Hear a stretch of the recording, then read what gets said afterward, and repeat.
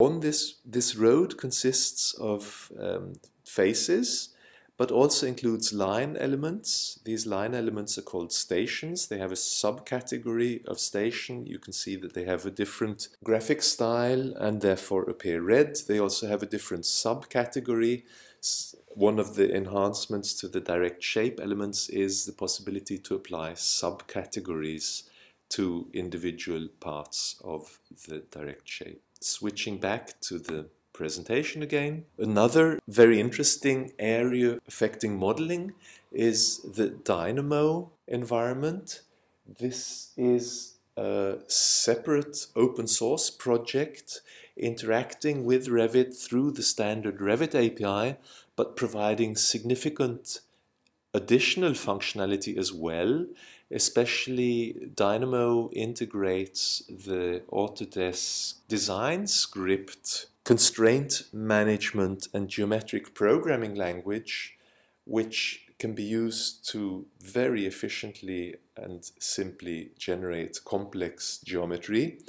Dynamo is a visual programming environment, so this is suitable for people such as architects who may not want to deal with the nitty gritty details of C sharp syntax and uh, loading add-ins or handling macros.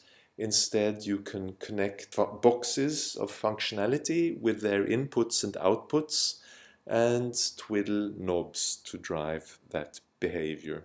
This was one very exciting topic at Autodesk University and we see extreme amount of interest in this area.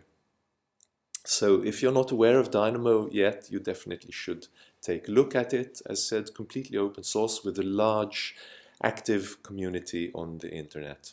Another piece of functionality that was introduced in Revit 2015 was the custom exporter. Initially, this exported faces, so all of the objects visible in the Revit render command.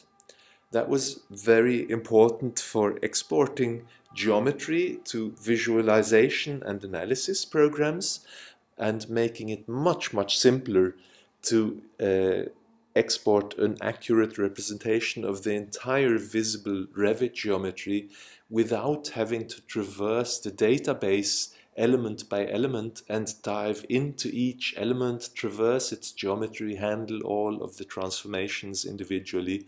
Instead, it enabled an add-in to hook in directly into the Revit rendering graphics pipeline and be notified of each face as it was streamed out through the rendering context. So this functionality is obviously also available in 2016, but we also add a new export context, the iModel export context, which processes the elements visible in 3D views, and this includes support for curves, polylines, points, and text, as well as the faces and their textures. Another important modeling area is the new MEP fabrication detailing functionality. So the Revit and the Revit API now support part-by-part -part placement of segments, fittings and hangers, enabling a higher level of development with detailed connectors, specification-driven lengths, meaning a single length of duct can be separated into individual parts as needed and required for fabrication specifications. Couplings can be automated, libraries with grouping are defined, and there's validation of size, shape, direction, orientation, and connectivity. And this comes with a user interface which enables direct interaction with this content with realistic behavior. So detail and all the required data to aid coordination modeling is supported and included. Here's a video demonstrating that kind of interaction. So on the right we see the MEP fabrication library with a collection of parts that can be used. On the left hand side we see the normal Revit element properties And on the graphics, in the graphics screen, you can see how the user can interact with the elements, switch back and forth between the library, the properties, detailed internal geometry, dimensioning, and control the direction and connectivity of these elements.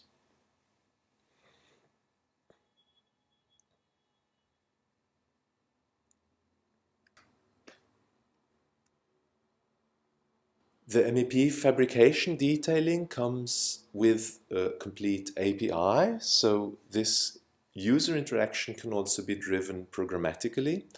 New classes are provided, a fabrication service, which includes support for fabrication service buttons, defining service behavior for given conditions, the fabrication part types, representing the types, for service buttons and conditions and fabrication parts representing the components manipulated by this. Let's look at a quick demonstration of this functionality. So I'll switch back to Revit and load a different project for that. So I have uh, a API duct and hanger model I'll enable the macros in this document. And we see here a shape that we use to control the placement of hangers.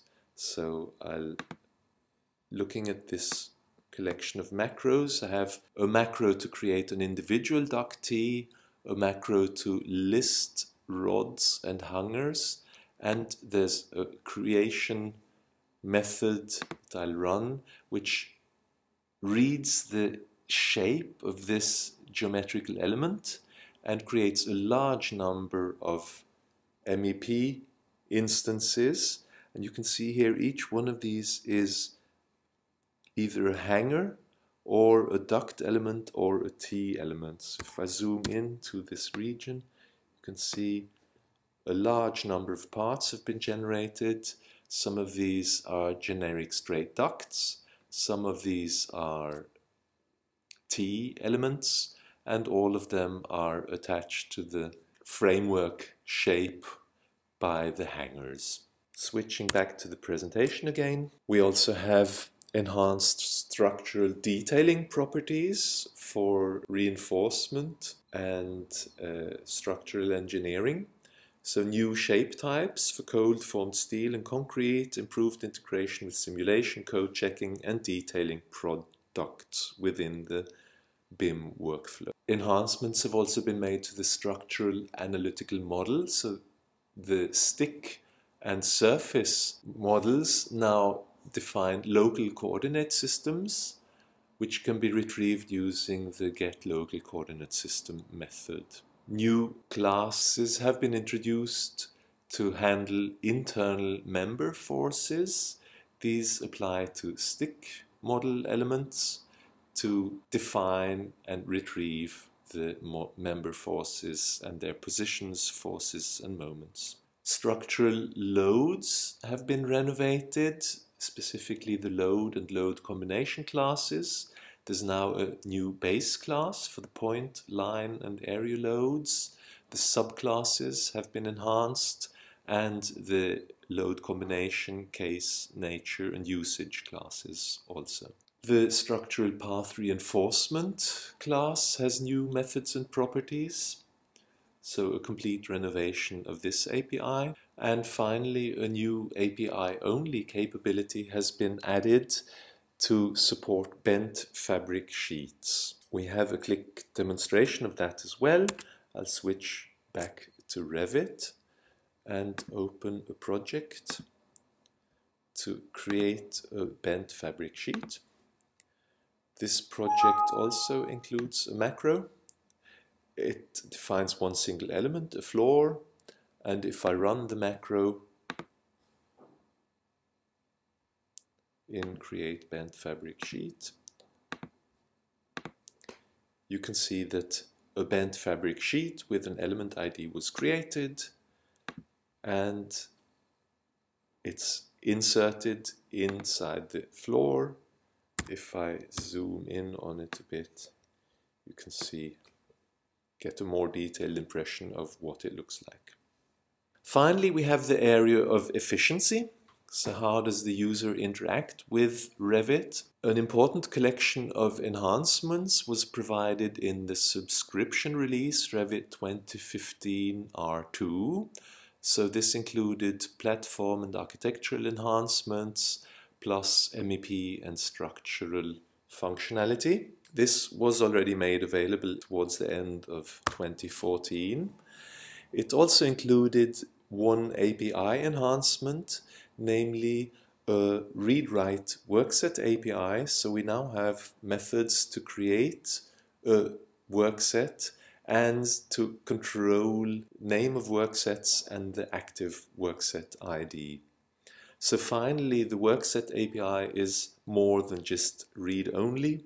We have complete read-write functionality. There's also a new functionality to reveal the constraints. Some enhancements in the schedule API to control the title and header displays. A new datum plane base class for levels, grids and reference planes, which provides additional functionality. The text note API has been renovated. This is another example of more direct API access to the built-in Revit elements through an automated API generation system. So whenever we see a static create method on a class instead of the new text note creation method on the creation document, that is an indication that this API has been completely renovated and in that case also normally provides better integration and more API access. The dimension and leader API has been enhanced. So we have some new properties on the dimension, dimension segment and leader classes. Let's look at a quick demo of one piece of enhanced functionality that this provides. We have here a simple dimension and in this case the sample application is provided as an add-in with an external application interface. So I have two commands, one to align the dimension text with the um, one of the dimension points and the second one to freely move the dimension text to any position of my choice. Switching back again to the presentation, some enhancements have been added to the PDF export functionality. So now the table of contents includes links, views and sheets are also linked and hyperlinks can be included in the PDF export. We make use of this new PDF export functionality in the collaboration and interaction with BIM 360 Glue and BIM 360 Field. Another efficiency and collaboration piece of functionality is the export of CAD files to other platforms, uh, other file formats such as DWG, DXF, or DGN, where another CAD system might want to post-process the export generated by Revit. In that case, it can be important to preserve coincident lines which were previously eliminated by the Revit export, in which case the post-processing might uh, suffer from the lack of certain closed polygon segments. Now the export options includes a new property to preserve these coincident lines. One of the most exciting and important areas for creating a complete and accurate building information model is the ability to perform analysis on the building before it's built, especially energy analysis. So we want to implement all possible functionality to enable an architect or designer to analyze the energy behavior of a building while it is being designed and planned. So within Revit, we can show the energy analytical model. We can use conceptual massing and building elements together. And we can use this kind of functionality to provide real-time interactive feedback and access results from the Energy Plus engine running in the